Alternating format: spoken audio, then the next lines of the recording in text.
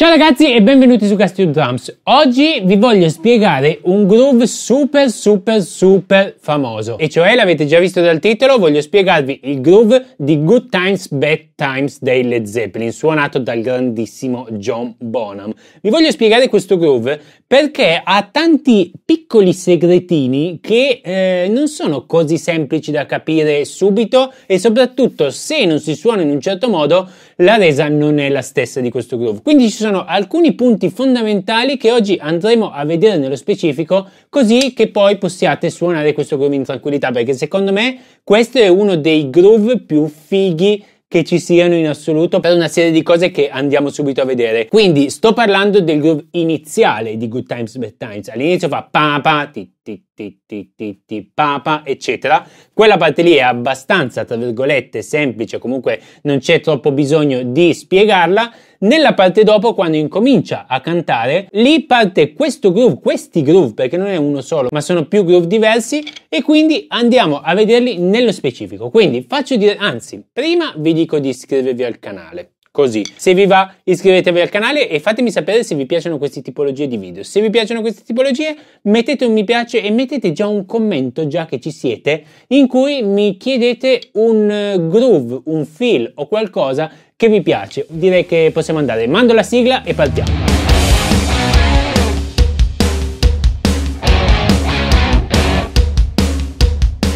Allora, ecco che cosa vedremo oggi. Per prima cosa vi faccio sentire il groove completo, così che possiate riconoscerlo più che altro, se magari ancora non avete capito di cosa voglio parlarvi, e poi così ve lo spiego pezzo per pezzo.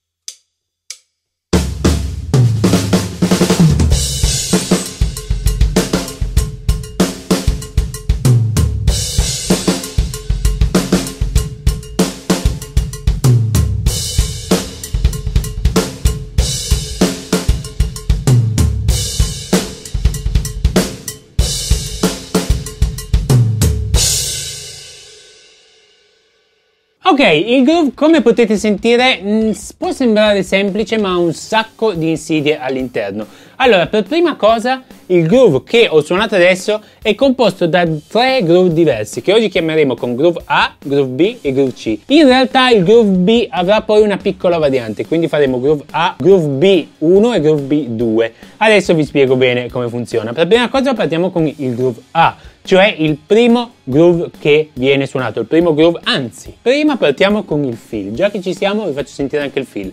Allora, il fill è un fill da 4 quarti che praticamente si divide in due parti. Per prima cosa c'è il pa pa, che sono ottavi, 3, 4, Dopo ci sarà una pausa, poi c'è il PDF con tutto spiegato tranquilli e poi il eh, fill sarà tutto a mani alternate partendo da un tom. Io di solito parto col tom 2 perché ha il suono un po' più grave, quindi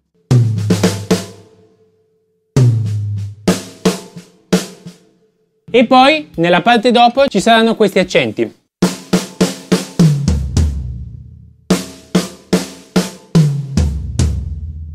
Quindi tutto insieme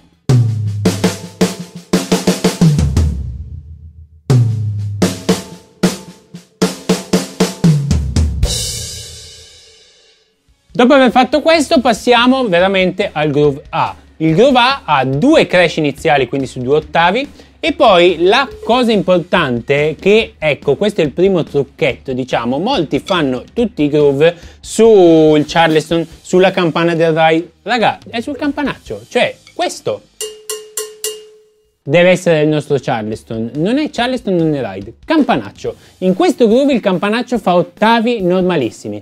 Quindi dopo i due crash il campanaccio fa tutti ottavi.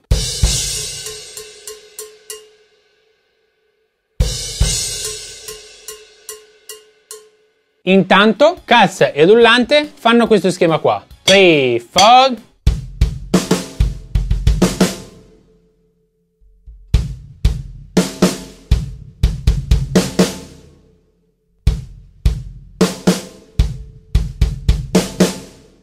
tutto tu papa, tu tu tu tu papa. Quindi proviamo a mettere tutto insieme.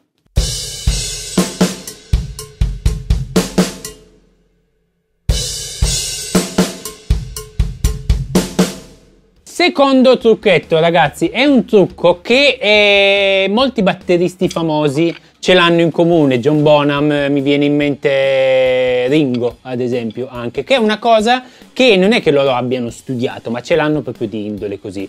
In pratica, quando si pensano i groove come questo, sono tutti con tempo binario, quindi ottavi, sedicesimi, eccetera, eccetera, ma per riuscire a farlo simile o per avvicinarsi il più possibile, bisogna cercare di shuffleizzare un po' il tutto. Quindi, se io lo suono dritto, dritto, dritto,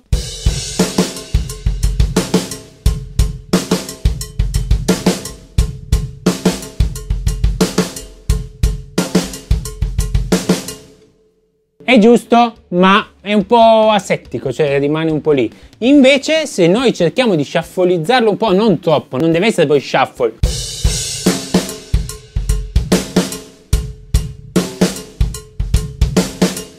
Così è un'altra roba proprio, ma shuffleizzarlo un pochettino, quindi cosa vuol dire? Vuol dire allargare un po' le note che suoniamo di solito. Quindi se una nota di solito la suoniamo ta ta ta ta ta ta ta ta, cercare ogni due note di allargare un po', quindi andare verso il ta ta ta ta ta ta ta ta ta ta ta, vedete che così è un pochettino più shuffle.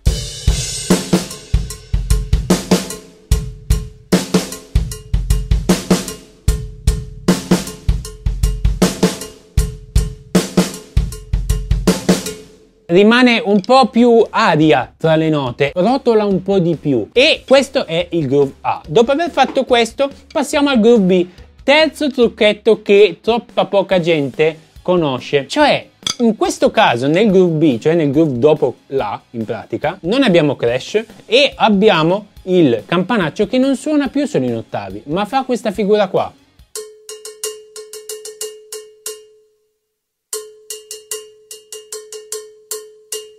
So che non sembra, ma è proprio così. Ascoltate bene la canzone, ascoltate l'originale che vi lascio qui sotto in descrizione e sentite bene quello che fa. La cassa rollante e i tom, perché ci sono anche i tom, in questo caso fanno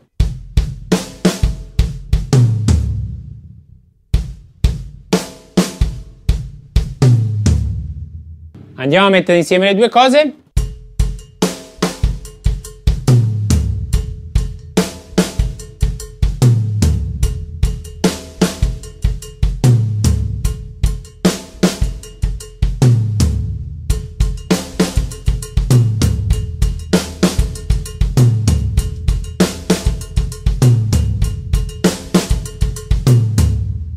Come potete sentire qui la parte sciaffolizzata è più che altro del campanaccio, quindi un filo sciaffolizzato sempre. Questo era il groove B1, poi vi spiego perché B2, perché c'è una piccola variazione. Adesso andando a mettere insieme groove A e groove B, Dobbiamo anche inserire un colpo di cassa in più alla fine, nell'ultimo sedicesimo del groove. Non ve l'avevo ancora detto perché sennò rischiavo di fuorviare un po' il tutto. Mettiamolo per incollare praticamente groove A e groove B.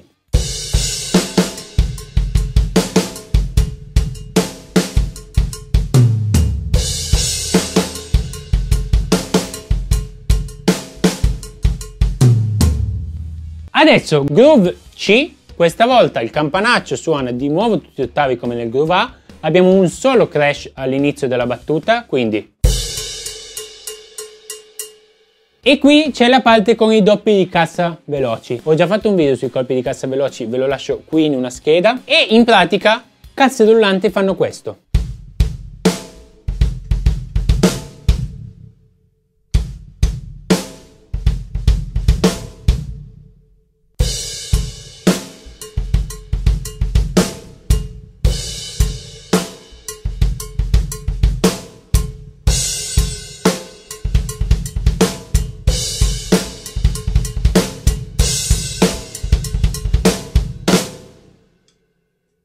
Ultimo groove, poi li mettiamo insieme e capiamo come bisogna metterli uno dopo l'altro. Variazione del groove B, cioè il B2. In pratica l'unica cosa che varia è che c'è un crash all'inizio. Quindi se prima era questo,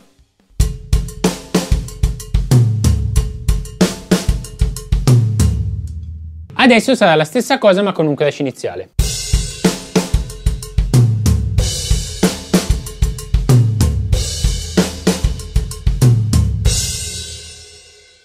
Dopo che abbiamo fatto tutti questi groove, questi tre groove più uno, perché c'è una variazione, che poi è una cavolata, ma è giusto saperla, andiamo a mettere questi groove uno dopo l'altro. È abbastanza semplice, si usa groove A e groove B1, quello senza crash, poi si rifà la stessa cosa, quindi A, B1, A, B1. Dopo faremo C, B2, quindi con il crash, e poi di nuovo C, B2. In tutto quindi saranno 8 battute. A, B1, A, B1, C, B2, C, B2.